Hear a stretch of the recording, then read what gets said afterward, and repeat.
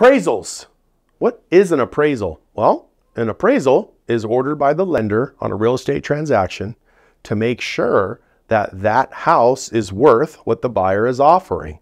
And it's there as a protection to the lender. It is ordered by the loan officer. Now, how does an appraiser determine value?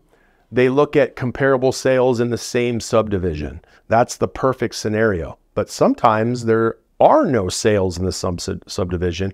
So, what the appraiser has to do is they will drop a dart right on that house and they'll go out a mile radius and see if there's any that they can pull in. This gets a little tricky because we know in Vegas you can have a, a property that's 500,000 just a half a step away from a $10 million home. So the, when you're going out a mile or two miles, you have to be real careful and they have to make sure that the homes are comparable. So there's a lot of homework that goes into valuing some of these properties.